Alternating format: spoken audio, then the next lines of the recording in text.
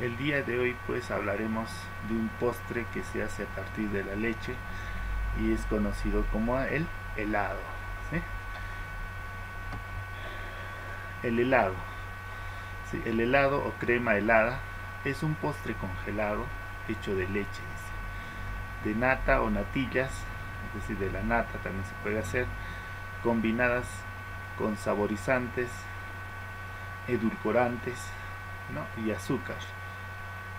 En general, los productos utilizados en la elaboración son pues leche, azúcar, edulcorantes, nata, huevo, frutas, chocolates, frutos secos, yogur, agua mineral y estabilizantes, ¿no? Entonces, esos son los insumos, la materia prima e insumos que se necesita para la elaboración de este postre congelado, ¿no? Entonces, este postre congelado, ¿sí? Se consume pues a nivel mundial. Eh, en nuestro país también pues eh, no es muy agradable y es muy cremoso, pero también tiene pues algunas eh, tiene algunos contenidos pues en lo que es calorías es muy elevado entonces ya vamos a ver posteriormente el helado. Luego hay tres calidades de helado. Tenemos un helado industrial un helado artesanal y el helado soft entonces en lo que es helado industrial dice son los helados que podemos conseguir en los supermercados, kioscos, restaurantes y económicos. ¿no? Ustedes pues eh, dice estos helados son elaborados en forma automática empleando saborizantes y colorantes para realizar su aspecto y sabor es un helado con un gran contenido de aire incorporado es decir muy liviano este helado industrial pues nosotros lo vamos a encontrar pues en Plaza Bea eh, en diferentes supermercados pues donde no ya, ya, ya te lo venden ya pues en un pote no y también estos helados son pues se utilizan para elaborar, dice, tiene una incorporación de aire muy elevado, también se le conoce como overroom. ¿sí? Overroom significa la incorporación eh, elevada de aire, ¿no? Y lo que lo va a hacer a este lado lo va a hacer liviano. Y es un, se utiliza maquinaria pues eh, industrial para poder procesar pues este tipo de helado, helado industrial. Luego tenemos el helado artesanal Dice, son helados que se consume eh, únicamente en heladerías artesanas, restaurantes. Eh, son helados de alta calidad y muy personalizados. ¿no? Es una elaboración se emplean únicamente productos frescos. Y al contrario, en el caso de los helados industriales no se utiliza saborizantes, colorantes ni conservantes. Tiene mucho menos aire incorporado y un aspecto no muy cremoso. ¿no?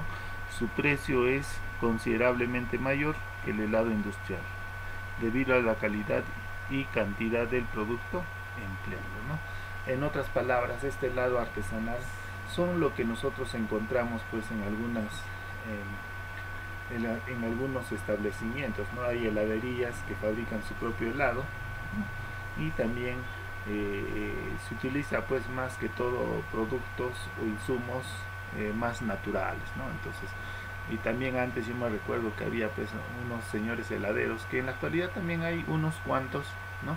que llevaban pues este tremendas latones ¿no? donde estaba depositado en la parte inferior pues este ¿no? el hielo ¿no? y ellos pues eh, en su otra parte no te tenía pues ya el helado no ese helado no que, que era un helado pues no era tan suave no pero también como era natural pues era un poco eso es agradable bueno en lo particular no ese es un helado artesanal es uno hecho a mano digámoslo así no por artesanos que tienen pues conocimiento en su elaboración. Luego tenemos el helado soft ese es el helado que podemos conseguir en los restaurantes y de comidas rápidas la mezcla a base se coloca en una pequeña mantecadora y accionado por un como un grifo se extrae pues el helado soft esta característica es la gran cantidad de aire que tiene dentro del aire, mm, que tiene dentro, es decir, que es muy liviano y tiene una textura muy suave. Es un helado que no necesariamente es bajo, baja la calidad, pero sí generalmente más barato, porque no requiere de una operación de congelación y a la que se someten pues los otros ¿no? entonces este helado soft eh, alguna vez le hemos visto ¿no? este, hay algunos establecimientos ¿no? en la cual le echan una mezcla nomás ¿no? y, y, viene el señor quiere un helado de tantos y ¿no? pone un, bar, un barquillo y automáticamente pues apretan un botón y sale pues el helado ¿no? En el momento cae ¿no? en el barquillo o en el vaso no, ese es un helado soft no son helados suaves dice la preparación pues es mucho más rápida y también pues es económico la operación de congelado no es necesario en este tipo de helados ya que se hace pues la incorporación de aire eh, y como es un, este pues eh, una cámara bien fría entonces el helado sale pues en el momento sale ¿no? y es muy agradable esas son las características de los de esos helados que hemos mencionado luego tenemos la cómo debe ser un helado, ¿no? ¿Qué características debe tener un helado? tiene que ser suave y uniforme, sin partículas de hielo, es decir, no tiene que tener ninguna partícula de hielo. ¿no? Antes en, esos helados artesanales también lo malo es que a veces los artesanos lo incorporaban un poco de hielo, quizás para que se haga un mezclado, pues, eh, eh, un mezclado más, este, eh, más, eh, más rápido, ¿no? Entonces ellos lo adicionaban, ¿no? Entonces, de alguna u otra manera a veces se sentía, pues, en el momento de, comerlo, ¿no? De consumirlo, ¿no? Entonces eso no es, este, no es adecuado, ¿no? Entonces debe tener una textura suave y uniforme, ¿no? No debe tener hielo. ¿Qué más? ¿Qué característica? Un color apropiado, ¿no? Si es un color de fresa, ¿no? Eh, un color rojo, ¿no? Podría ser de fresa, y, pues eh, qué más tiene que tener también dice bajo contenido en, eh, en contenido de microorganismos y por tal razón debe ser un, helado que sea elaborado en condiciones higiénicas.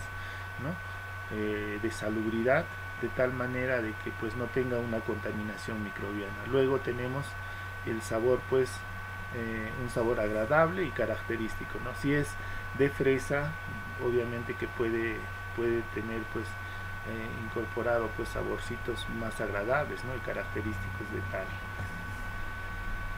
la materia prima y e insumos que se necesita para la fabricación y sus funciones respectivas ¿no? tenemos eh, tenemos eh, el agua es el componente con mayor contenido en los helados estando presente entre 59 a 74%, utilizar pues agua tratada, hervida o libre de gérmenes patógenos. Se utiliza agua, hervada, agua hervida fría, entonces eso es uno. El otro insumo que se utiliza es la grasa, eh, le da un mejor sabor, textura al helado, hace más fácil el batido, se saca pues la leche eh, se saca de la leche entera, como por ejemplo la crema fresca. Otras opciones pueden ser la mantequilla, grasa láctea, anhidra y grasa vegetal. En otras palabras, jóvenes, eh, la grasa también es la que le va a proporcionar pues al helado, eh, le va a proporcionar suavidez, ¿sí? Y también eh, le va a proporcionar pues este no esa característica suave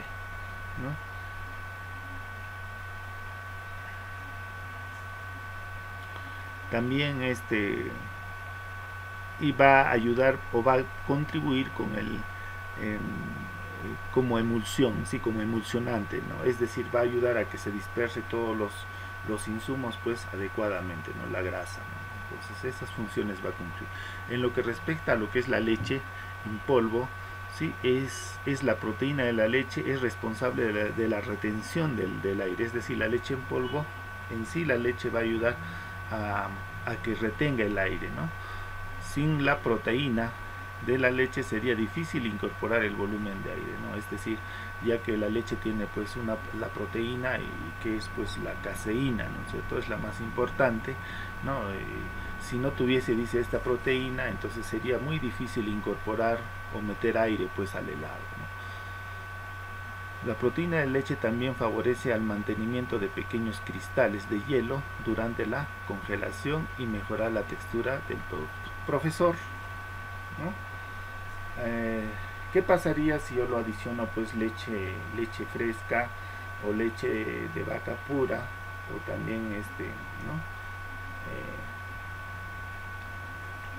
¿Qué es lo que pasaría? Entonces, yo creo que se puede adicionar y en la práctica que vamos a hacer pues eh, eh, lo vamos a hacer con leche fresca no hay problema ¿no? el helado nos va a salir de igual manera delicioso luego tenemos el otro insumo es el azúcar el azúcar dice no solo se añade pues eh, añade dulzura al producto sino que baja el punto de congelación ¿sí? de la mezcla de manera que no se congele hasta el nivel de eh, endurecimiento dentro del congelador.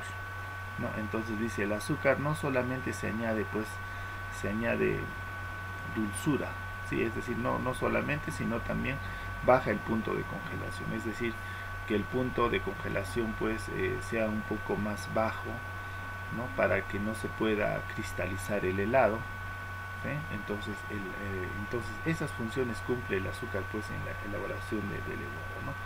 Acá también tenemos, eh, hay un término de grasa, grasa láctea anidra, ¿no? yo les digo que la grasa anidra es, es manufacturada, dice, al remover el agua y sólidos, dice, ¿no? no grasos a la crema o mantequilla pasteurizada. Contiene alrededor de 99.8 de grasa y 0.1 de agua. Entonces, ¿eso qué quiere decir, no? La grasa anhidra es la combinación pues de agua y sólidos no grasos. Los sólidos no grasos son pues las proteínas, las vitaminas, los carbohidratos, todos los componentes de la leche, pero la grasa no. A eso se llama grasa anhidra, ¿no?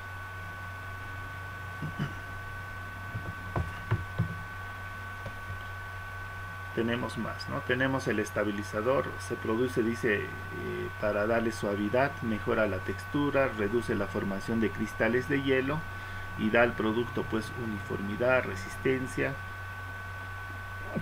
perdón, a la descongelación, ¿sí? Y utiliza para evitar la separación de azúcar y para que el helado no se desmorone, ¿no? En otras palabras, el helado me va a ayudar a que no se a que la congelación pues una vez eh, congelado el helado no no no se no se derrita pues fácilmente no se va a hacer más resistente luego tenemos pues el emulsionante el, el emulsionante dice permite la emulsión de lo, del líquido que no se mezcle dice ayuda a que el helado sea pues más suave de apariencia más seca y haya más aireación los emulsionantes usados son pues los los monos y glicéridos y la lecitina de soya. ¿sí? Y también se puede utilizar eh, el huevo ¿sí? como emulsionante. ¿no? Es decir, este emulsionante va a ayudar también a dispersar pues, todos los insumos eh, en la mezcla pues, que sean adecuados. Luego tenemos los sabores, como, como dice su nombre, se encarga pues, de, brindarle pues, el sabor respectivo al producto son de primordial importancia en la aceptación pues del helado. Son muy variados los sabores que se pueden adicionar a los helados. Como es la vainilla, se usa como elemento modificador para muchos otros sabores de helado y sabores de, de fruta las frutas se usan también de forma fresca congelada, ¿no? Entonces, en otras palabras, la incorporación de sabores artificiales también se puede incorporar sabores naturales como la fruta, ¿no? la cual le va a dar pues un, un, plus, es decir, le va a dar pues un sabor, una característica mucho más agradable de aquel helado que ha sido elaborado con solamente el uso de saborizantes, ¿no? Es decir, eso es la diferencia, ¿no? En el uso eh, en el uso de esta de la fruta no claro obviamente que estos helados son más pues pueden salir más caros pero son más deliciosos otros componentes también que se utiliza pues la sal común no la sal va a ayudar pues a, a poder eh, intensificar también el sabor si, si se pudiera decir no se puede eh, intensificar y también se puede colocar pues en la parte de ¿no? si se hace artesanalmente lo puedo utilizar en el hielo lo adiciono la sal para que haga para que baje la temperatura más rápido y de esa manera pues provocar eh, el, eh, es decir provocar esa masa que nosotros queremos pues durante el proceso de elaboración ¿sí? Actúa como preservante y se comporta pues como intensificador de sabor y los almidones o féculas que se utilizan para evitar la cristalización ¿sí? va a ayudar también a evitar la cristalización aumenta los sólidos y dan textura pues y cuerpo y formar soluciones coloides ¿no? eso es lo que va a hacer pues en este caso la, la sal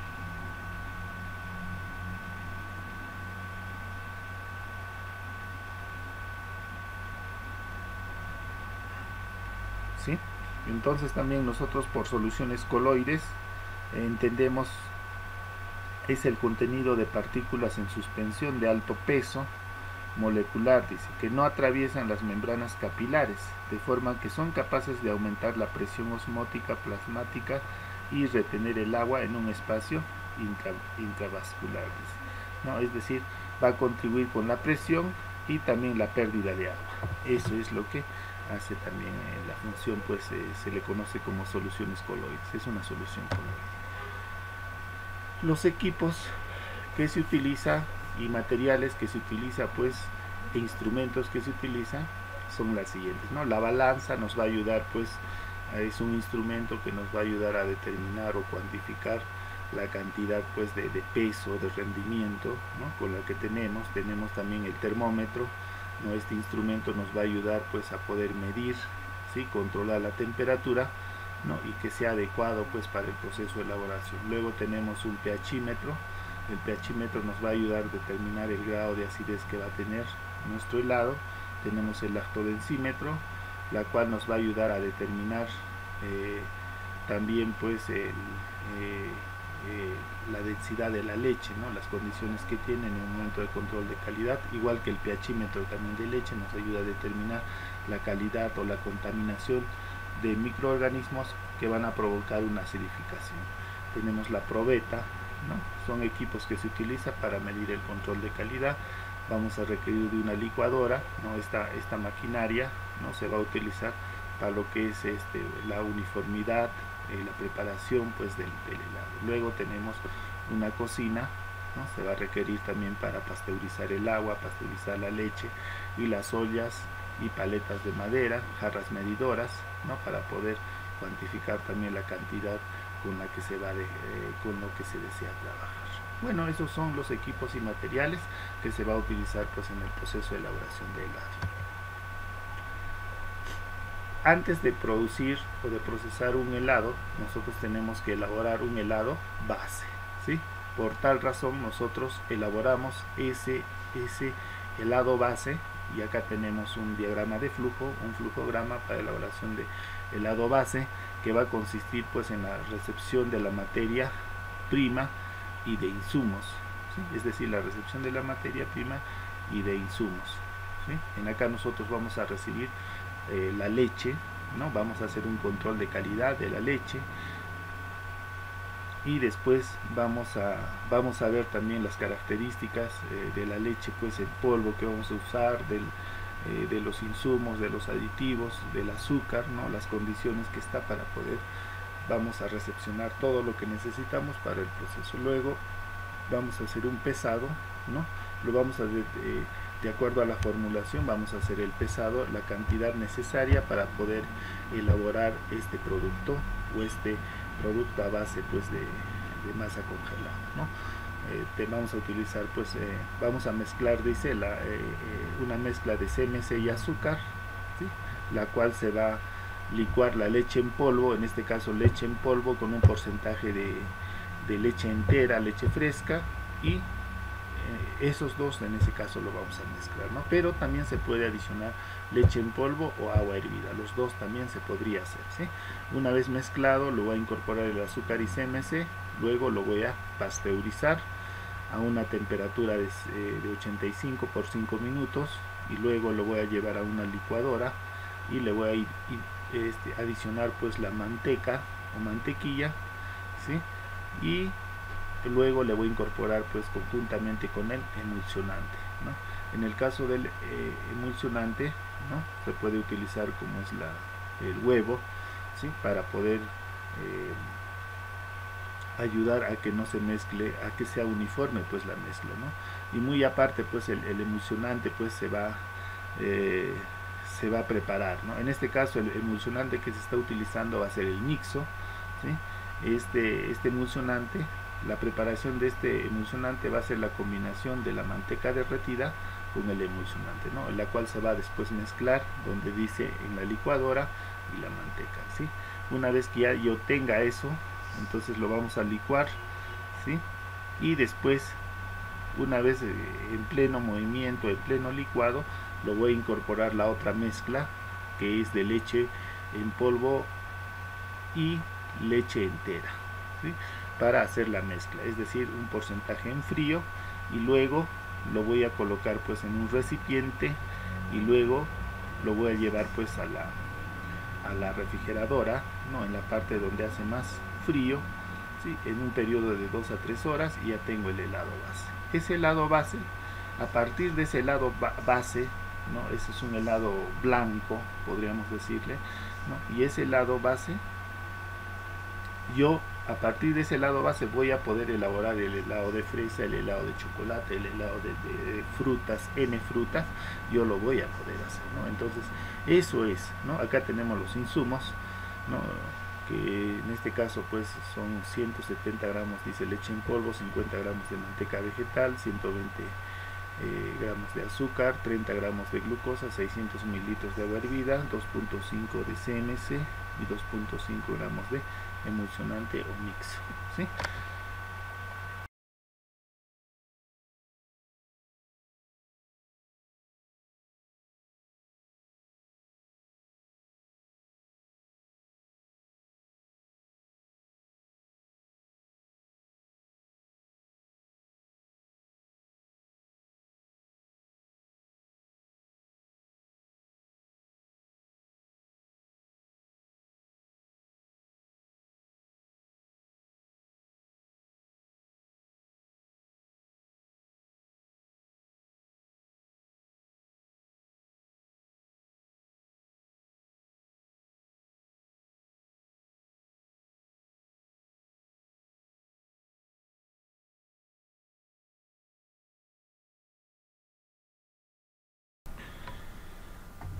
En lo que es la descripción de proceso de elaboración del helado de fruta con helado base, tenemos la siguiente, ¿no? Es decir, la preparación del helado base se prepara igual que la base para el helado de crema, es decir, ese helado base que, les he eh, mencionado, ¿no? La cual tiene un diagrama de flujo ¿no? Y, tiene sus respectivos o el respectivas etapas de elaboración, ¿cierto? Ese es para la elaboración de ese helado base, que me va a servir para posteriormente pues eh, elaborar pues helado de fresa, helado de lugma o diferentes tipos de helado. ¿sí? Eh, luego tenemos pues lo que es la preparación de la pulpa de fruta. Para elaborar pues la pulpa de fruta, primeramente yo voy a hacer un pesado de la fruta, voy a seleccionar pues aquella fruta que esté en, óptimo estado, en un buen estado de maduración y pues de, que sea pintón, es decir, que sea pues bien, em, que se vea muy bien frente a la vista. Luego el, lavado de la fruta, lo voy a realizar con la finalidad pues de eliminar algunas sustancias eh, que están adheridas a la fruta y también eh, disminuir pues la carga microbiana. Para ello se utiliza, se puede utilizar una escobilla, si en caso fuera uh, una fruta de repente pues como la maracuyá, ¿no? y, otro tipos de frutas, ¿no? Luego esa fruta, luego lo voy a acondicionar, ¿no? Lo voy a pelar, lo voy a trozar y, y lo voy a licuar, ¿sí? Lo voy a licuar puedo licuar en un porcentaje 50-50. ¿Eso qué quiere decir? 50% de esa fruta lo voy a licuar y otro 50 lo voy a trozar, ¿no? Para que en el helado se sienta pues los trozos de fruta. Luego de eso voy a hacer un refinado dependiendo del tipo de fruta que se quiera hacer, ¿no? Con la finalidad de, pues, de mejorar eh, la textura o la pulpa, ¿no? Este, yo lo puedo, lo puedo hacer pues un, un, este, un refinado, ¿no? Si en caso pudiese, si caso no, pues en, eh, lo puedo colocar, colocar como, los dije, como les dije, ¿no? 50% en fruta trozada y 50% licuada, ¿no? Ese sería. Luego, la preparación de la pulpa de fruta, ¿sí? Tenemos pues, eh, eh, una vez que ya tenga, ¿no? Lo voy a pasteurizar, es decir, lo voy a someter a una temperatura entre 85 grados con la finalidad de eliminar pues la carga microbiana y así también evitar pues el pardiamiento enzimático ¿no? o, la función de ello que va que va a hacer pues a que se negree la fruta ¿no?